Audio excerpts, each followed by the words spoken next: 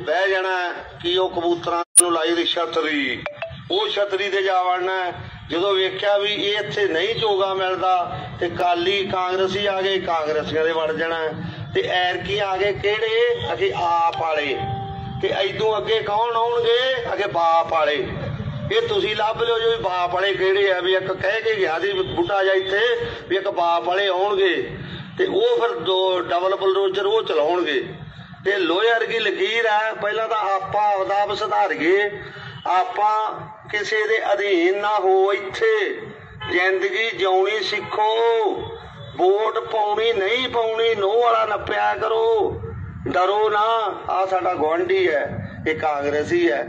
ਆ ਸਾਡਾ ਤਾਏ ਦਾ ਪੁੱਤ ਆ, ਸਾਡੇ ਮਾਮੇ ਦਾ ਪੁੱਤ ਹੈ ਇਹ ਗੱਲਾਂ ਛੱਡਣੀਆਂ ਪੈਣਗੀਆਂ। ਮੈਨੂੰ 30 ਸਾਲ ਹੋ ਗਏ ਯੂਨੀਅਨ 'ਚ ਰਹਿੰਦਿਆਂ। ਤੇ ਮੈਂ ਇੱਕ ਬੇਨਤੀ ਕਰਦਾ ਨਾ, ਮੈਂ ਅੱਜ ਵੀ ਕਰਦਾ। ਤੇ ਅਗਲਾ ਕਹਿੰਦਾ, ਤੂੰ ਹਟ ਕੇ ਵਿਖਾ ਖਾ ਤੇ ਮੈਂ ਆ ਨਾ ਹੁਣਾ ਵੀ ਕੱਲਾ ਕਿਵੇਂ ਹਟ ਜੂ? ਸਾਰੇ ਇੱਕ ਮੁੱਠ ਹੋ ਜੋ ਆ ਕਿੰਨੀਆਂ ਡੋਡੀ ਆ ਨਾ, ਤੇ ਆ ਕੀ ਬਣ ਗਈ ਇੱਕ ਮੁੱਠ ਤੋ ਇੱਕ ਸੀਜ਼ਨ ਲਾਉਣਾ ਆਪਾਂ।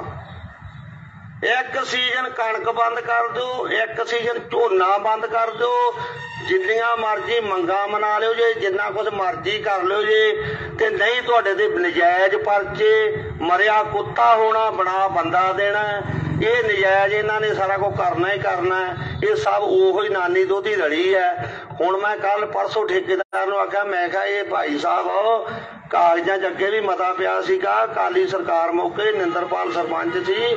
ਇਹ ਉਦੋਂ ਚੱਕਿਆ ਜਾਏਗਾ ਤੇ ਤੁਸੀਂ ਇਹ ਨਾਂ ਰੱਖੋ। ਕਹਿੰਦਾ ਨਾ, ਰਾਮ ਸਿੰਘ ਨੂੰ ਜਾਣਦਾ। ਮੈਂ ਕਿਹਾ, ਕਿਹੜਾ ਰਾਮ ਸਿੰਘ? ਅਗੇ ਉਹ ਬਾਹਰ ਖੇਤਾਂ ਹੀ ਰਹਿੰਦਾ। ਮੈਂ ਕਿਹਾ, ਉਹ ਦਲ ਬਦਲੂ? ਮੈਂ ਕਿਹਾ ਪਹਿਲਾਂ ਕਾਰਲੀਆਂ 'ਚ, ਫਿਰ ਕਾਂਗਰਸ 'ਚ, ਫਿਰ ਆ ਪੈੜਿਆ 'ਚ। ਮੈਂ ਕਿਹਾ ਮੈਂ ਉਹ ਜੇ ਬੰਦੇ ਦੇ ਮੂੰਹ ਤੇ ਨਹੀਂ ਥੁੱਕਦਾ ਹੋਏ ਮੈਂ ਕਿਹਾ ਮੈਂ ਤੈਨੂੰ ਬੰਦਿਆਂ ਨੂੰ ਨਾ ਜਿਹੜਾ ਬੰਦ ਕਰ ਦੇ, ਤੈਨੂੰ ਮੈਂ ਡੀਸੀ ਸਾਹਿਬ ਦੇ ਪੇਸ਼ ਹੋ ਗਿਆ ਅੱਜ ਮੈਂ ਉਹ ਸ਼ਰਾਬ ਦੀ ਬਾਬਤ ਵੀ ਇੱਕ ਮੰਗ ਪੱਤਰ ਖਾਲਸਾ ਜੀ ਦੇ ਕੇ ਆਇਆ। ਤੁਸੀਂ ਪਿੰਡ ਪਿੰਡ ਚੋਂ ਅਸੀਂ ਫੈਕਟਰੀ ਬੰਦ ਕਰਾਈ ਆ ਨਾ, ਹੁਣ ਸਾਡਾ ਰੌਲਾ ਕਾਹਦਾ ਭਗਵੰਤ ਮਾਨ ਉਹ ਕਹਿੰਦਾ ਲਿਖ ਕੇ ਨਹੀਂ ਦਿੰਦਾਗਾ। ਐਲਾਨ ਤਾਂ ਕਰਤਾ, ਪ੍ਰਦੂਸ਼ਣ ਬੋਰਡ ਵਾਲਿਆਂ ਨੇ ਵੀ ਕਰਤਾ। 80 ਪਸ਼ੂ ਮਰੇ ਸੀ। ਮਨਸੂਰਵਾਲ ਦੇ, ਉਸ ਪਿੰਡ ਮੇਰਾ ਮੁੰਡਾ ਵਿਆਹ ਤੇ ਮੇਰਾ ਪਿੰਡ ਆ ਲੌਂਗੋ ਦੇਵਾ ਤੇ ਉਹਨਾਂ ਦੇ ਜਿਹੜੇ ਆਗੂ ਬੰਦੇ ਸੀ, ਉਹ ਹੀ ਇੱਥੇ ਮੂਰੇ ਆਗੂ ਬਣ ਕੇ ਪਹਿਲਾਂ ਤੇ ਯੂਨੀਅਨਾਂ ਨੂੰ ਬਾਹਰ ਕੱਢਤਾ। ਧਰਨਾ ਦਾ ਸ਼ੁਰੂ ਕਰਾ ਲਿਆ ਸਾਡੇ ਕੋਲ 7ਵੇਂ ਮਹੀਨੇ ਦੀ 23 ਤਰੀਕ ਨੂੰ। ਤੇ ਜਦੋਂ ਅਸੀਂ ਆਖੀਏ ਨਾ ਕਮੇਟੀ ਬਣਾਈਏ, ਉਦੋਂ ਸਰਦਾਰ ਜੀ ਬਾਹਰੋਂ ਪੈਸੇ ਆਉਣ ਲੱਗ ਪਏ। ਇੱਕ ਮਸੂਰ ਵਾਲ ਦਾ ਸੀ, ਇੱਕ ਰਟੌਲਾਂ ਦਾ ਸੀ, ਇੱਕ ਵੱਡੇ ਮੰਝਾਂ ਮੈਨੂੰ ਇਹ ਤੂੰ ਸਾਡੀ ਬੇਇੱਜ਼ਤੀ ਕਰਦਾ, ਮੈਂ ਕਿਹਾ ਮੈਂ ਤਾਂ ਰੱਜ ਕੇ ਕਰੂੰਗਾ। ਮੈਂ ਕਿਹਾ, ਮੌਤ ਤੋਂ ਮੈਨੂੰ ਡਰ ਨਹੀਂ ਲੱਗਦਾ, ਮੈਂ ਕੀਰਾ ਮਰ ਕੇ ਜਿਉਂ ਪਿਆ ਫੇਰ। 7 ਦੀ 23 ਨੂੰ ਧਰਨਾ ਦਿੱਤਾ ਤੇ 8 ਦੀ 20 ਨੂੰ ਮੈਨੂੰ ਦੌਰਾ ਪੈ ਗਿਆ। ਆ ਮੇਰਾ ਪਾਸਾ ਜਾ ਖੜ ਗਿਆ। ਮੈਂ ਕਿਹਾ ਬਾਬਾ ਨਾਨਕ ਨੇ ਇੱਕ ਗੱਲ ਹੈ, ਕਹਿੰਦਾ, ਚੱਕ ਲਾ, ਨਵੇੜ ਕੰਮ। ਕਹਿੰਦਾ, ਜਗਾਨਾ ਨਾ ਪਾਈ ਤੇ ਚਾਹੇ ਉੱਥੇ ਫੇਰ ਸਟਾਰਟ ਕਰ ਦੇ। ਬਾਈ, ਉੱਥੇ ਫੇਰ ਸਟਾਰਟ ਕਰਤਾ। ਵਾਲੇ। ਸੋਨਿਆਲ ਤੇ ਹੁਣ ਮੈਂ ਚੰਡੀਗੜ੍ਹ ਹੁੰਨਾ ਤੇ ਵੀਰੋ, ਬੇਨਤੀ ਆ ਵੀ ਇੱਕ ਮੁੱਠ ਜੋ ਕਾਲੀ ਕਾਂਗਰਸੀ ਆਪੂ ਵਾਲੇ ਸਾਰਿਆਂ ਨੂੰ ਛੱਡ ਦਿਓ। ਐਰ ਧੱਕੇ ਨਾਲ ਸਰਕਾਰ ਆਉਣੀ ਬਾਪ ਵਾਲਿਆਂ ਦੀ। ਠੀਕ ਹੈ? ਉਹ ਤੁਸੀਂ ਸਮਝ ਲਓ ਜੀ ਵੀ ਕਿਹੜੇ ਬਾਪ ਵਾਲੇ ਆ। ਤੇ ਇਹ ਇੱਕ ਮੁੱਠ ਤੋਂ ਬਿਨਾ ਕਿਸੇ ਨੇ ਤੁਹਾਡੀ ਜਾਨ ਨਹੀਂ ਛੱਡਣੀ।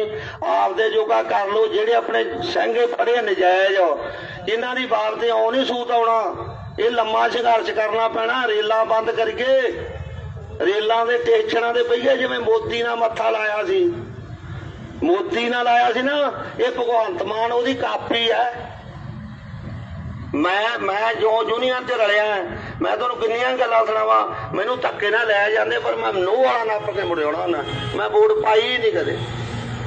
ਇੱਕ ਸੀਜ਼ਨ ਜੇ ਕਿਤੇ ਸਾਰੇ ਲੋਕ ਇਹ ਕੰਮ ਕਰਦੇ ਨਾ, ਜਾਂ ਜੇ ਤੁਹਾਡੇ ਪਿੰਡ 'ਚ ਕੋਈ ਐਮਐਲਏ ਐਮਪੀ ਕੋਈ ਵੀ ਵੜ ਗਿਆ ਤਾਂ ਕਹਿ ਦਿਓ ਕੋਈ ਕਿਸੇ ਨੂੰ ਪਿੰਡੋਂ ਨਹੀਂ ਕੱਢ ਸਕਦਾ। ਅਜਾ ਅੰਗਰੇਜ਼ ਤੁਸੀਂ ਪਿੰਡੋਂ ਕੱਢੇ ਤੇ ਹੁਣ ਤੁਸੀਂ ਕੀ ਲੈਣ ਜਾਂਦੇ ਆ? 30 ਦੀ 35 35 ਲੱਖ ਲਾ ਕੇ ਉੱਜੜ ਜਾਂਦੇ ਆ ਤੁਸੀਂ। ਇੱਥੇ ਨਹੀਂ ਕੰਮ ਕਰ ਸਕਦੇ। ਮੈਂ ਆਣਾ ਇੱਕ ਪਾਈਆ, ਘਿਓ, ਇੱਕ ਪਾਈਆ, ਘਿਓ ਕਿੰਨਾ ਗਾ ਉਹਦੇ ਨਾਲ ਮੁੰਡਾ ਕੁੜੀ ਵਹਿ ਜਾਊਗਾ। ਪਰ ਮੈਂ ਮੈਂ ਜਿਵੇਂ ਆਖਾਂ, ਉਵੇਂ ਕਰਨਾ ਪਊਗਾ। ਅੱਤਵਾਦ ਮੌਕੇ ਕਿਵੇਂ ਹੁੰਦੇ ਸੀ ਵਿਆਹ? ਹੁੰਦੇ ਸੀ ਨਾ, ਮੂੰਗੀ ਦੀ ਦਾਲ, ਮੈਂ ਆਪ ਖਵਾਈ ਉਹਦੇ ਭੈਣ ਦੇ ਵਿਆਹ 'ਚ। ਅਗੇ ਇਹ ਕੀ ਮਾਂ ਮੱਖਣੀ? ਮੈਂ ਕਿਹਾ ਖਾਣੀਆਂ ਖਾ ਲਓ ਨੇ ਸਾਲਾ ਹੀ ਬਣਾ ਲੂੰਗਾ ਇੰਨੀਆਂ ਗੱਲਾਂ ਕਹਿੰਦਾ, ਵੀਰ ਜੀ, ਇੱਕ ਮੁੱਠ ਹੋ ਜੋ ਆਪਾਂ ਨੂੰ ਰੇਲਾ ਰੋਕਾਂਗੇ, ਫੇਰ ਆਪਣੀ ਸੁਣਵਾਈ ਹੋਣੀ, ਨਹੀਂ, ਸੁਣਵਾਈ ਨਹੀਂ ਹੋਣੀ। ਜਿੱਥੇ ਤੁਹਾਡੀ ਮਰਜ਼ੀ ਜੇ ਮੈਂ ਵੱਧ ਘੱਟ ਬੋਲ ਗਿਆ ਤਾਂ ਮੈਨੂੰ ਮਾਫੀ ਦੇ ਦੇ ਜੇ। ਮੈਂ ਚਾਹੇ ਬਜ਼ੁਰਗ ਸਮਝ ਲਓ, ਚਾਹੇ ਬੱਚਾ ਸਮਝ ਲਓ, ਇਹ ਖਾਲਸਾ ਜੀ ਤੁਹਾਨੂੰ ਆ। ਵਾਹਿਗੁਰੂ ਜੀ ਕਾ ਖਾਲਸਾ, ਵਾਹਿਗੁਰੂ ਜੀ ਕੀ ਫਤਿਹ। ਜੋ ਬੋਲ ਜਾਂ ਵੱਧ ਘੱਟ ਬੋਲਿਆ ਗਿਆ, ਮਾਫੀ ਜ਼ਰੂਰ ਦੇ ਦਿਓ ਜੀ। ਲਓ ਜੀ ਖਾਲਸਾ ਜੀ। ਵਾਹਿਗੁਰੂ ਜੀ ਕਾ ਖਾਲਸਾ, ਵਾਹਿਗੁਰੂ ਜੀ ਕੀ ਫਤਿਹ। ਸੋ ਸਰਦਾਰ ਹੀਰਾ ਸਿੰਘ ਜੀ, ਜਿਹੜੇ ਪੰਜਾਬ ਮਜ਼ਦੂਰ ਕਿਸਾਨ ਮੋਰਚਾ ਉਹ ਆਪਣੀ ਜਥੇਬੰਦੀ ਲੈ ਕੇ, ਕਿਉਂਕਿ ਇਹ ਜਥੇਬੰਦੀ ਉਹ ਹੈ ਜਿਨ੍ਹਾਂ ਨੇ ਬੰਡਾਲੇ ਪੁਲ ਦੇ ਉੱਤੇ ਧਰਨਾ ਲਾਇਆ ਸੀ। ਤੇ ਇਹਨਾਂ ਦੇ ਜਿਹੜੇ ਇੱਕੋ ਦਿਨ 14 ਸਿੰਘ ਜਿਹੜੇ ਸਰਕਾਰ ਨੇ 751 ਦੇ ਵਿੱਚ ਫੜੇ ਫੜੇ ਸੀ, ਉਹ ਰਿਹਾ ਕੀਤੇ ਸੀ। ਮਿਰਦਾਸ ਨੂੰ ਵੀ ਉਸੇ ਦਿਨ ਹੀ ਇਹਨਾਂ ਨੂੰ ਮਿਲਣ ਦਾ ਜਿਹੜਾ ਮੌਕਾ ਮਿਲਿਆ ਸੀ। ਸੋ ਉਹ ਆਪਣੀ ਜਥੇ ਦੇ ਨਾਲ ਇੱਥੇ ਪਹੁੰਚ ਰਹੇ ਨੇ ਪੰਡਾਲ ਦੇ ਵਿੱਚ। ਅਸੀਂ ਉਹਨਾਂ ਦੇ ਆਉਣ ਦੀ ਖੁਸ਼ੀ ਦੇ ਵਿੱਚ ਜਕਾਰਾ ਲਾਓ। ਵਾਹਿਗੁਰੂ ਜੀ ਕਾ ਖਾਲਸਾ। ਵਾਹਿਗੁਰੂ ਜੀ ਕੀ ਫਤਿਹ। ਬੋਲੇ ਸੋ ਨਿਹਾਲ। ਸੋ ਹੁਣ ਬੇਨਤੀ ਕਰਦੇ ਆ ਡਾਕਟਰ ਬਲਕਾਰ ਸਿੰਘ ਜੀ ਇਲਮੇ ਵਾਲੇ ਤੋਂ ਜਿਹੜੇ ਬੜੇ ਗੁਰਮੁਖ ਨੇ ਗੁਰੂ ਕੇ ਸਿੱਖ ਨੇ ਤੇ ਉਹ ਵੀ ਕੌਮੀ ਚੇਤਨਾ ਰੱਖਦੇ ਹੋਏ ਕੌਮ ਦੀ ਚੜ੍ਹਦੀ ਕਲਾ ਵਾਸਤੇ ਹਰੇਕ ਥਾਂ ਤੇ ਪਹੁੰਚਦੇ ਨੇ। ਉਹਨਾਂ ਦੇ ਚਰਨਾਂ ਵਿੱਚ ਬੇਨਤੀ ਕਿ ਆ ਕੇ ਸੰਗਤ ਨਾਲ ਵਿਚਾਰ ਸਾਂਝੇ ਕਰਨ। ਡਾਕਟਰ ਬਲਕਾਰ ਸਿੰਘ ਜੀ ਇਲਮੇ ਵਾਲਾ, ਵਾਹਿਗੁਰੂ ਜੀ ਕਾ ਖਾਲਸਾ, ਵਾਹਿਗੁਰੂ ਜੀ ਕੀ ਫਤਿਹ। ਵਾਹਿਗੁਰੂ। ਧੰਨ ਧੰਨ ਸਾਹਿਬ ਸ੍ਰੀ ਗੁਰੂ ਗ੍ਰੰਥ ਸਾਹਿਬ ਜੀ, ਪਰਮੇਸ਼ਰ ਵਾਹਿਗੁਰੂ ਜੀ, ਜਿਨ੍ਹਾਂ ਦੀ ਕਿਰਪਾ ਸਦਕਾ ਆਪਾਂ ਪੰਜ ਦਾ ਦਰਜਾ ਲੈ ਕੇ ਇੱਥੇ ਬੈਠੇ ਆ ਤੇ ਆਪਾਂ ਜਿਹੜੀ ਸ਼ੁਰੂਆਤ ਆ ਆਪਾਂ ਸ਼ੁਰੂਆਤ ਮੂਲ ਮੰਤਰ ਤੋਂ ਕਰੀਏ। ਕਿਉਂਕਿ ਪ੍ਰਭ ਦਾ ਸਿਮਰਨ ਕਾਰਜ ਪੂਰੇ। ਸਾਰੇ ਕਾਰਜ ਸਿਮਰਨ ਹੀ ਪੂਰੇ ਕਰਨੇ ਆ। ਸਾਰੇ ਮੇਰੇ ਮਗਰ ਨਾਲ ਬੋਲਿਆ ਜੇ ਆਪਾਂ ਮੂਲ ਮੰਤਰ ਜਾਪ ਕਰਕੇ ਇਹ ਦੋ ਤਿੰਨ ਬੇਨਤੀਆਂ ਕਰਕੇ ਬਸ ਸਮਾਪਤੀ ਕਰ ਦੇਣੀ ਹੈ ਇੱਕ ਓੰਕਾਰ। ਸਤਨਾਮ। ਕਰਤਾ ਪੁਰਖ।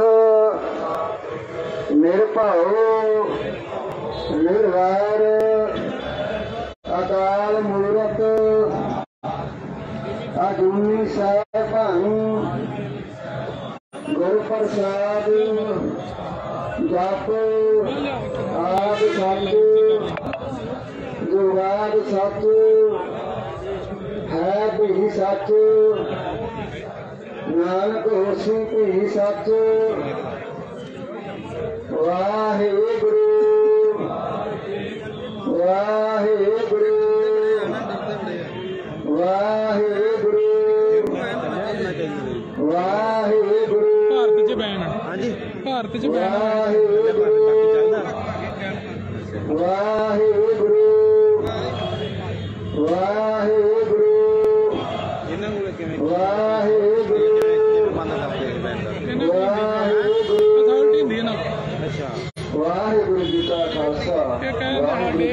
ਜੀ ਕੀ ਖਤਰਾ। ਫਤਿਹ ਚਮਕੌਰ ਦੀ ਭਾਸ਼ਾ ਘੜੀ ਚੱਲਦੇ ਆਂ ਦੇ ਚੈਨਲ। ਇੱਕ ਪਾਸੇ 40 ਤੇ ਇੱਕ ਪਾਸੇ 10 ਲੱਖ ਸਾਡੇ ਸੂਬੇ ਲਈ ਖਤਰਾ। ਜਦੋਂ 10 ਲੱਖ ਨੇ ਘੇਰਾ ਪਾਇਆ ਤੇ ਇੱਕ ਪਾਸੇ 40 ਸਨ ਉਹਦੇ ਹੱਥ ਕੋਈ ਇਹਨਾਂ ਨੂੰ ਕੋਈ ਪ੍ਰਮਾਣ ਜਦੋਂ ਪੰਜ ਪੰਜ ਸਿੰਘ ਯਾਰ ਫੇਸਬੁੱਕ ਤੋਂ ਪਤਾ ਹੁਣ ਕਿ ਸਨ। ਇੱਥੇ ਬੈਨ ਕਰ ਦੇਣ। ਤੇ ਜਿਹੜੀਆਂ ਮੁਗਲ ਫੌਜਾਂ ਸਨ ਉਹਨਾਂ ਨਾਲ ਲੜਦੇ ਹੋਏ ਸ਼ਹੀਦੀਆਂ ਪ੍ਰਾਪਤ ਕਰ ਰਹੇ ਸਨ। ਭਾਈ ਅਜੀਤ ਸਿੰਘ ਆਇਆ। ਆਣ ਕੇ ਇਜਾਜ਼ਤ ਮੰਗੀ। ਕਿ ਕਲਗੀਆਂ ਵਾਲਿਆ ਬਾਦਸ਼ਾਹ ਮੇਰੇ ਤੇ ਕਿਰਪਾ ਕਰੋ। ਮੈਂ ਵੀ ਜਾ ਕੇ ਸ਼ਹੀਦੀ ਪ੍ਰਾਪਤ ਕਰਾਂ। ਕਿ ਕਲਗੀਆਂ ਵਾਲੇ ਬਾਦਸ਼ਾਹ ਨੇ ਉਹਨਾਂ ਨੂੰ ਤਿਆਰ ਕੀਤਾ। ਸੈਕਟਰ ਸਜਾਏ ਨਾਲ ਚਾਰ ਸਿੰਘ ਹੋਰ ਦੇ ਕੇ ਪੰਜ ਸਿੰਘ ਫਿਰ ਉਹਨਾਂ ਦੇ ਨਾਲ ਭੇਜੇ। ਤੇ ਜਾ ਕੇ ਸ਼ਹੀਦੀ ਪ੍ਰਾਪਤ ਕੀਤੀ। ਜਦੋਂ ਭਾਈ ਅਜੀਤ ਸਿੰਘ ਸ਼ਹੀਦੀ ਪ੍ਰਾਪਤ ਕਰ ਗਿਆ ਤੇ ਭਾਈ ਜੁਝਾਰ ਸਿੰਘ ਆਪ ਚੱਲ ਕੇ ਆ ਗਿਆ। ਆਪ ਚੱਲ ਕੇ ਆਇਆ। ਪਿਤਾ ਜੀ, ਗੁਰੂ ਗੋਬਿੰਦ ਸਿੰਘ ਜੀ, ਮੇਰੇ ਤੇ ਕਿਰਪਾ ਕਰੋ। ਇਹ ਉਦੋਂ ਕਰਕੇ ਪੜਨ ਤੁਹਾਨੂੰ ਵਾਪਸ ਸੇ ਕੌਮ ਨੂੰ। ਕਲਗੀਆਂ ਵਾਲੇ ਪਾਸੇ ਨੇ ਬਾਹਰ ਦਿੱਤਾ ਸੀ। ਕਿ ਜਿਵੇਂ ਵਿਗਾਸਿਆ ਤੂੰ ਆਪ ਚੱਲ ਕੇ ਆ ਗਿਆ ਨਾ। ਹੁਣ ਮੇਰੀ ਕੌਮ ਵਿੱਚ ਜਦੋਂ ਵੀ ਲੋੜ ਪਵੇਗੀ ਸਿੱਖ ਇਸ ਤਰ੍ਹਾਂ ਚੱਲ ਕੇ ਆਪ ਆ ਜਾ ਕਰਨਗੇ ਸੰਤ ਜਰਨੈਲ ਸਿੰਘ ਆਏ। ਉਹਨਾਂ ਦੀ ਸੁਣ ਖਤਮ ਕਰਨ ਦੀ ਕੋਸ਼ਿਸ਼ ਕੀਤੀ ਗਈ।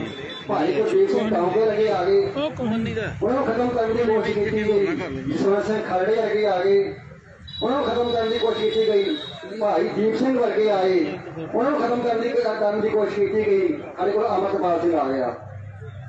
ਜੇ ਸਰਕਾਰ ਉਹਨੂੰ ਖਤਮ ਕਰਨ ਦੀ ਕੋਸ਼ਿਸ਼ ਕਰੇਗੀ ਨਾ, ਅਮਰਤ ਸਿੰਘ ਪਾਵਰ ਤੇ ਹੋਰ ਸਿੰਘ ਆ ਜਾਣਗੇ ਸਾਡੇ ਕੌਮ ਵਿੱਚ। ਇਹ ਆਉਣੇ ਰਹਿਣੇ ਨੇ। ਇਹ ਸਾਨੂੰ ਗੁਰੂ ਗੋਬਿੰਦ ਸਿੰਘ ਨੂੰ ਵਾਰ ਮਿਲਿਆ ਹੋਇਆ ਹੈ। ਇਹ ਇਹਦੇ ਸਿੰਘ ਆਉਂਦੇ ਰਹਿਣੇ ਸਾਡੇ ਪੰਜਾਬ ਵਿੱਚ। ਜਦੋਂ ਸਾਡੇ ਪੰਜਾਬ ਤੇ ਜ਼ੁਲਮ ਹੋਵੇਗਾ, ਸਾਡੀ ਸਿੱਖ ਕੌਮ ਤੇ ਜ਼ੁਲਮ ਹੋਵੇਗਾ ਸਾਡੇ ਸਿੱਖ ਸਭਾ ਖਤਮ ਹੋਵੇਗਾ ਸਭਾ ਦੇ ਜ਼ੁਲਮ ਹੋਵੇਗਾ ਉਦੋਂ ਸਾਡੇ ਸਿੰਘ ਇਸ ਤਰ੍ਹਾਂ ਆਉਂਦੇ ਰਹਿਣੇ ਦੂਜੀ ਗੱਲ ਮੈਂ ਬੇਨਤੀ ਕਰਨੀ ਹੈ। ਅਸੀਂ ਇੱਥੇ ਬੈਠੇ ਕਿਉਂ ਵੇਖੋ, ਇਹ ਜਿਹੜੇ ਅੰਦਰ ਸਿੰਘ ਨੇ, ਇਹਨਾਂ ਨੇ ਜ਼ੁਲਮ ਕਿਹੜਾ ਕਰਤਾ ਦੱਸੋ ਇਹਨਾਂ ਨੇ? ਕੀ ਇਹਨਾਂ ਨੇ ਛੱਡ ਕਰਤਾ? ਸਾਡੇ ਅੰਦਰ ਜੱਟ ਜਾਗਿਆ ਅਸੀਂ ਸ਼ਾਂਤਮਈ ਉੱਥੇ ਮੋਰਚਾ ਲਾਇਆ। ਕੋਈ ਕਿਸੇ ਨੇ ਕੋਈ ਉੱਥੇ ਵੱਧ ਘੱਟ ਗੱਲ ਨਹੀਂ ਕੀਤੀ। ਸ਼ਾਂਤਮਈ ਬੈਠੇ ਸਾਂ ਅਸੀਂ।